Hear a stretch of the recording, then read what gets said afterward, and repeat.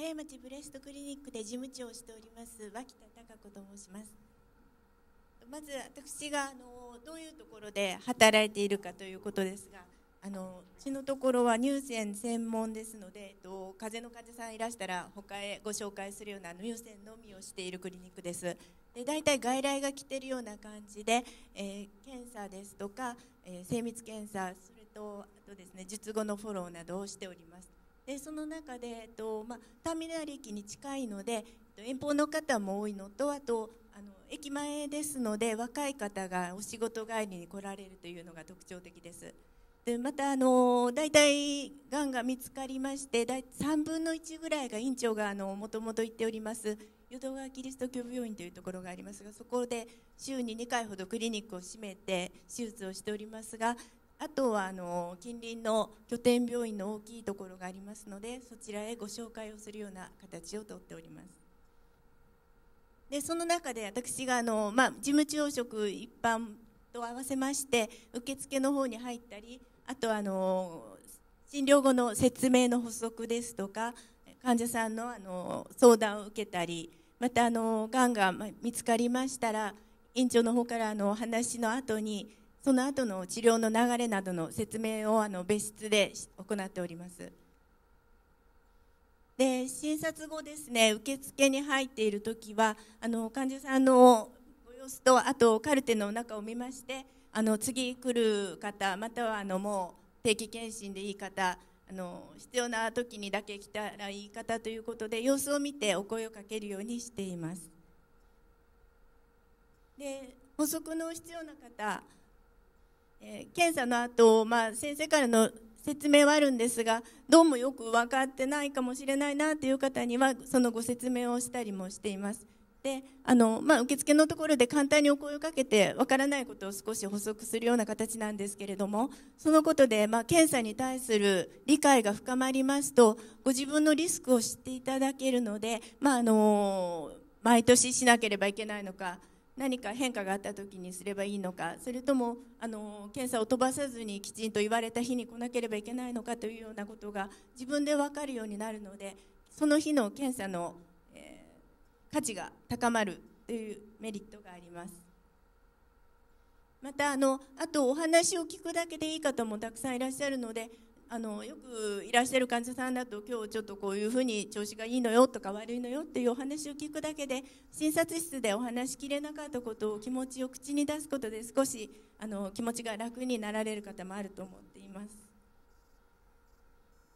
で診察室以外でお話を聞くメリットとしてはあのいろいろなことをおっしゃるので、まあ、先生に言わなくてもいいようなことの患者さんの本音を聞くことができます。でこの聞くことで、まあ、医療者の方につなぐことで患者さんと医療者との少しのズレっていうのを少しずつでも改善できればと思っております。でがんがあの見つかってしまった場合いろいろなことを決めていかなければいけないんですけれどもそのお話をまあ個別のお部屋でするようにはしています。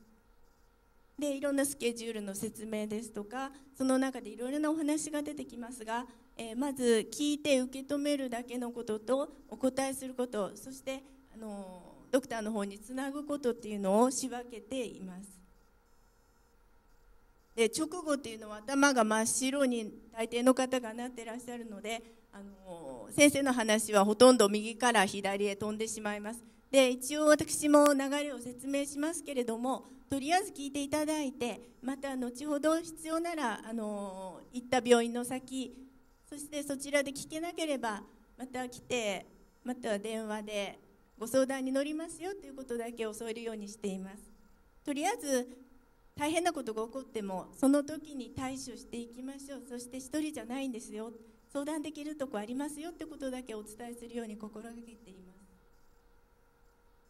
でそれがまあ現場にいるメリットとしてその場その聞いた直後にとりあえずお話をしておけるっていうのをとてもメリットに感じています。でまた後にはいろいろあのお調べになったりしてその後いろいろお気持ちも変わっていくんですけれどもとりあえずその日自分一人じゃないんだっていうことを分かって帰っていただけるということをあの大切にしています。で心がけていることですが当然患者さんのお話しされることをよく聞きます。で聞くってとってもいろんな意味があると思っております。そして治療に関することを医師に尋ねやすくするためにいろんなお話をあの前後関係なくされる方もいらっしゃいますのでまず診断治療に関わることで医師の説明が必要なことと情報知識としてお伝えすることそしてお話を聞いて受け止めるだけでいいことの3つに仕分けるようにしています。で必要な情報はもちろんカルテの方に書き込んで医療者と全員で共有するようには心がけております。でもちろんあのベックで習った基本方針っていうのは必ず意識するようにはしております。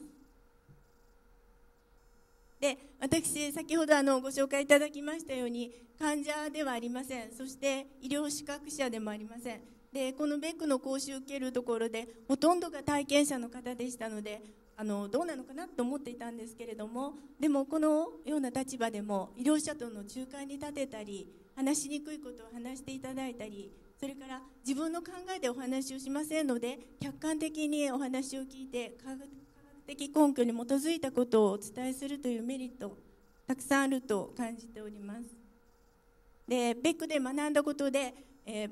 何かをしていただくんじゃなくて自分で何かを探していくというきっかけにはなりました。そして今あの先ほどお話がん教育が出てたんですが、えー、子どもたちへのがん教育への、えー、ボランティアをしたりあと講習をいろいろ聞きに行ったりとあの自分にできることを模索しております。でまだまだあの何ができるかということを探している途中なんですがこれからもたくさんのことにチャレンジしていきたいと思っております。